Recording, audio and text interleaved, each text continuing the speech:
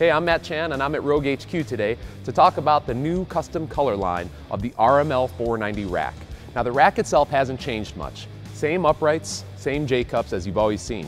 But now in addition to the matte black finish that you're used to seeing, we've got a medium gloss, smooth finish custom color line available in many different options. In addition to that, the hardware is now a black zinc hardware, which adds to a real nice finish to each rack.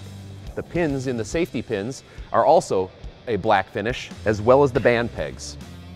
Now, finally, the 43 beam that we've added to the back of the rack has a custom nameplate, laser cut nameplate, with a stainless steel backing, which adds for a real nice finishing touch.